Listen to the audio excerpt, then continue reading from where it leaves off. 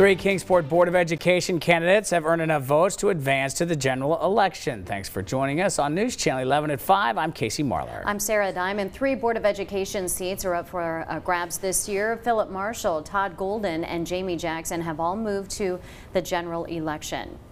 News Channel 11's Catherine Simpson joins us from our Kingsport Bureau to tell us what these candidates plan uh, to focus on while on the board. Catherine? Yeah, Sarah Casey, turnout was pretty low in the race this year, but it was about 30%. That's pretty low for a presidential year, but that didn't make the nerves even any less for the competitors or the excitement for the winners any less.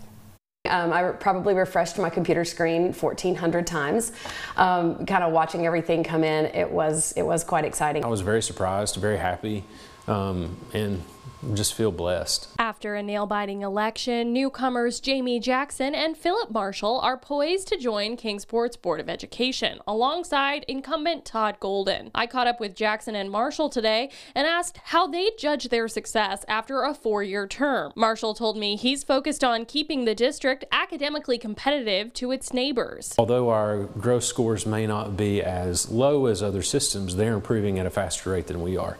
So I would like to close that gap and, and surpass, you know, other cities like like uh, Johnson City, Washington County, and Jackson, who ran for board in 2021, says career and technical education is her top priority. I think at the end of four years, if I'm able to look back and see more students participating, getting more licenses, more certifications than when I began, I'll feel like I was able to really have a positive impact.